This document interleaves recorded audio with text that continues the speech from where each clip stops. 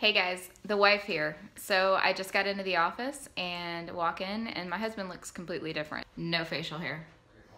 What are your thoughts behind this case? What's going on? Last night I uh, got myself a new truck.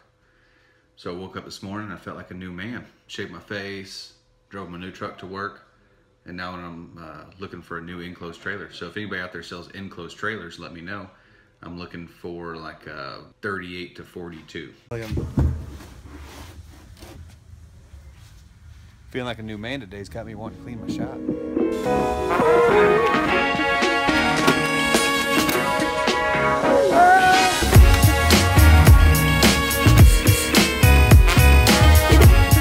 Every little bit about feeling like a new man has a lot to do with the shop too. Me and my brother-in-law spent a lot of time these last couple days doing a lot of things in the shop. Not only in the shop that we work in, but also our storage shop.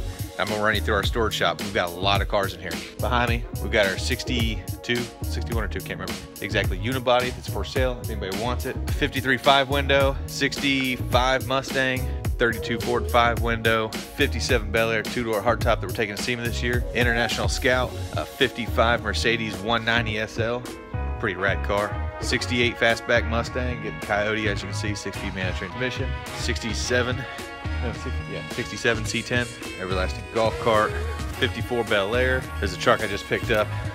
Got all kinds of plans. I don't know which one I'm gonna follow through. 7 F100 Drift Mustang, 68 F100. We got our 68 Charger. We just did fuel injection on. Uh, I don't, I don't know anything about Volkswagens. Not one thing. So, Volkswagen.